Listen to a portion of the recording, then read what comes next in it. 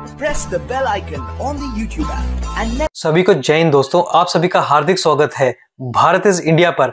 आशा करता हूँ कि आप सभी लोग बहुत अच्छे होंगे। तो आज हम आपके लिए एक लेटेस्ट और एक बहुत ही इन्फॉर्मेटिव वीडियो लेकर आए जिसमें आप देखेंगे मशहूर पत्रकार सोहेब चौधरी को, जिनकी स्पेशल गेस्ट होंगी भारत की बेटी और हिंदुस्तानी शेरनी और हम सबकी चहेती दबंग वकील नाजिया खान जी, और ये दोनों ना सिर्फ़ बात करेंगे हमारे प्यारे देश भारत के बारे में, बल्कि चर्चा करेंगे और बात करेंगे हमारे प्रिय सनातन धर्म के बारे में भी। तो ये वीडियो काफ़ी इंटरेस्टिंग होगी, आपको बहुत कुछ जानने को मिलेगा और बहुत मज़ा आएगा। तो इसे अंत तक देखें, और चैनल पर नए हैं तो चैनल को सब्सक्राइब कर दें, ताकि हम अपनी इसकी लेटेस्ट इंटरेस्टिंग और मज़ेदार वीडियोस लाते रहें।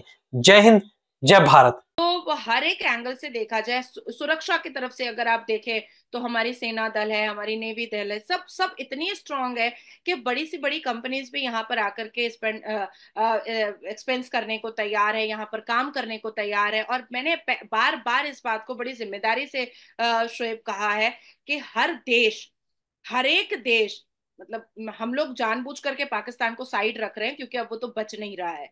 तो हर एक देश इंक्लूडिंग फिफ्टी सिक्स मुस्लिम मुल्क, भारत से एक्वेंटेंस नहीं, भारत से फैमिली की तरह रिश्ता रखना चाहता है। अरब ने कहा है कि भाई जो तुम तीन तीन अरब तीन तीन अरब डॉलर करके जो मेरे से लिए थे, वो तो हम तुमको खाने पकाने को दिए नहीं थे, वो तो हमने तुमको रखने को दिया था, तुमको समझाने को दिया था, पर फिर अब, फिर से वही आ गया है शरीफ शरीफ दोनों भाई, वो कर देंगे, खा लेंगे, पिट देंगे, मार देंगे तुम सुन्नी हो, तुम शिया हो, तुम अहमदी हो, अरे मियाँ मिट्टू उठा लो उस सारी हिंदू लड़कियों को, कर दो उनका सलवार खोल दो, तलवार दिखाओ और और मज़हब मज़हब चेंज करवाओ।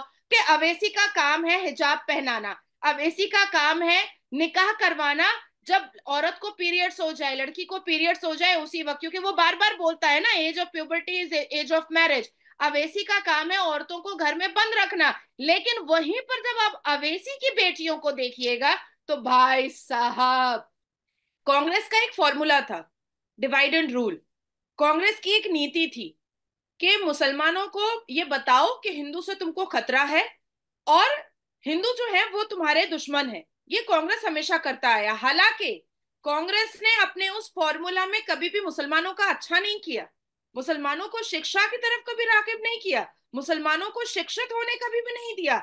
कांग्रेस ने एक टीम बनाई। कौन कौन आतंकी है कौन कौन जंगजू है कौन कौन जिहादी है कौन कौन रेपिस्ट है कौन कौन गैंगस्टर है। देवबंद जमात दारुल उलूम जो चला रहा है, वो फितर जक़ात पर और और सरकार को गालियाँ दे करके, सरकार से पैसा लेकर के जो 2023 में एक बहुत बड़ा मदरसा स्कैम बस्ट हुआ था। बहुत बड़ा मदरसा स्कैम बस्ट हुआ था।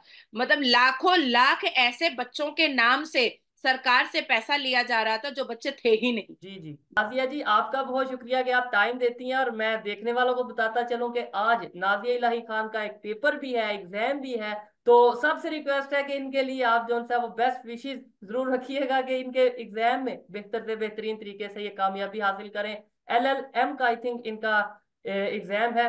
तो Nadia ji best of luck उसके लिए।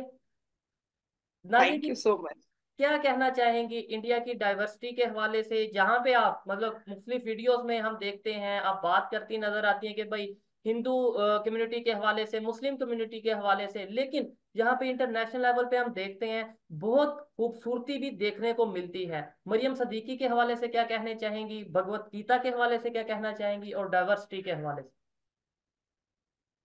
देखिए मरियम जिस हिसाब से उन्होंने भगवत गीता में, श्रीमद् भगवत गीता हम कहते हैं, खाली, सिर्फ़ भगवत गीता नहीं कहते हैं श्रीमद् भगवत गीता में जिस हिसाब से उन्होंने पहला मुकाम हासिल किया और जैसा हमेशा होता आया है कि हमारे भारत के प्रधानमंत्री हर उन लोगों से मिलते हैं, जो वाकई में देश से बहुत मोहब्बत करते हैं, इस देश की सिविलाइजेशन से, यहाँ की संस्कृति से बहुत मोहब्बत करते हैं। एक वक्त था शोएब मैं थोड़ा सा इतिहास के पन्नों को खोलूँगी तो लोगों को समझ में आएगा कि तब में और अब में इतने चेंजेस क्यों आए हैं? कांग्रेस का एक फॉर्मूला था डिवाइड एंड रूल कांग्रेस की एक नीति थी कि मुसलमानों को ये बताओ कि हिंदू से तुमको खतरा है और हिंदू जो है वो तुम्हारे दुश्मन है। ये कांग्रेस हमेशा करता आया। हालाँकि कांग्रेस ने अपने उस फॉर्मूला में कभी भी मुसलमानों का अच्छा नहीं किया। मुसलमानों को शिक्षा की तरफ़ कभी राकिब नहीं किया। मुसलमानों को शिक्षित होने कभी भी नहीं दिया। कांग्रेस ने एक टीम बनाई। कौन कौन आतंकी है कौन कौन जंगजू है कौन कौन जिहादी है कौन कौन रेपिस्ट है कौन कौन गैंगस्टर है, उसकी एक टीम बना करके उसको फलाया, फुलाया और उसको रोटी बोटी दे करके एक पॉकेट वोट मुसलमानों का अपने पॉकेट में रखा। हिंदुओं के साथ क्या किया कांग्रेस ने कि उनको उनकी सिविलाइजेशन से दूर कर दिया, उनको उनके गुरुकुल से दूर कर दिया, उनको उनकी सभ्यता और संस्कार से दूर कर दिया उनको कहीं ना कहीं वेस्टर्न कल्चर में रागिब करने की कोशिश कर दी कांग्रेस ने। और उसके बाद डिवाइड एंड रूल की पॉलिसी वो खेलते चले गए। और और इतने साल वो यहाँ पर जम करके भारत को अपने अपने बाप की जागीर समझ करके गांधी परिवार बैठे रहे। लेकिन अब क्या हुआ है? मुसलमान, अपनी अपनी सभ्यता, अपनी सिविलाइजेशन को मानो। हिंदू, सनातन धर्म, ये ये घमंड करो कि तुम सनातनी हो। क्रिश्चियन तुमको प्राउड होना चाहिए कि तुम क्रिश्चियन हो। लेकिन सब मिल करके भारत को बहुत अच्छे से उसकी सभ्यता को मानना होगा उसके सिविलाइजेशन को मानना होगा और भारत को अपनी माता हर कोई माने तो सबसे ज़्यादा बेहतर बेहतर होगा। उसी की एक ज़िंदा मिसाल हमने कुछ दिन पहले भी देखा था कि एक कश्मीरी लड़की ने बहुत खूबसूरत भजन गाया था। मैंने आपके साथ ही वो सेशन किया था तब उस वक्त भी मैं दिल्ली में थी। मैंने कहा था कि कश्मीरी लड़की ने बहुत खूबसूरत भजन गाया है। उसके बाद फिर हमने अरब में देखा आप आप आबू धाबी खुद गए थे कि वहाँ पर सत्ताईस एकड़ की मंदिर बनी और इतनी खूबसूरत इतनी खूबसूरत मंदिर बनी है कि शायद आपकी भी आँखें फट गई होंगी। उसके बाद फिर इस सभ्यता का सिविलाइजेशन का हम लोगों ने जो गिव एंड टेक है वो बहुत सारे मुल्कों में हम देख रहे हैं। हो सकता है कि कुछ दिन में आपको सुनाई देगा कि खतर में भी एक बहुत बड़ी भव्य मंदिर बन रही है। हो सकता है कि आपको 2024 के अंत तक सुनाई देगा कि ईरान में भी एक बहुत बड़ी भव्य मंदिर बन रही है। और बड़ी ज़िम्मेदारी से मैं ये बात कह रही हूँ आपको। हो सकता है कि आपको सुनाई देगा कि दुबई में एक और बहुत बड़ी भव्य मंदिर के, का प्राण प्रतिष्ठा और नींव जो है, वो मोदी जी जो है, वो इस लोकसभा इलेक्शन के बाद रखने रखने वाले हैं। तो बड़ी ज़िम्मेदारी से मैं ये सारी बातें कह रही हूँ। एक और बच्चे के बारे में मैं शोएब, आप, आपसे डिस्कस करना चाहूँगी। एक बच्चा है चार साल का। वो जब फ़्लाइट पे बैठता है तो वो श्रीमद भगवत गीता के श्लोक और अध्याय पढ़ते हुए बैठता है। वो जब किसी कैमरा के सामने आता है तो वो छोटा सा चार साल का बच्चा ए फॉर अर्जुन और बी फॉर भगवत गीता बोलता है। मतलब हम लोग A for apple B for ball पढ़े हैं। उस, उसकी माँ ने उसको ए फॉर एप्पल और बी फॉर भगवत गीता पढ़ाया है। मतलब ऐसे अल्फ़ाबेट को पढ़ाया है। तुम सोचो कि जब एक चार साल का बच्चा अपने सनातन धर्म के लिए इतना डिवोटी हो सकता है और मुझे प्राउड हो रहा है उस माँ पर, जिस माँ ने, जिस माँ ने उसको ऐसे ऐसे संस्कार दिए हैं और एक मुसलमान है जो आज भी मदरसे के लिए किसी को काट रहा है, किसी को मार रहा है। आज भी मुसलमान घर के जो पेरेंट्स हैं उनको ऐसा ही लगता है कि वो बिल्कुल काबिल नहीं है अपने खुद के बच्चों को दीनी तालीम देने के लिए।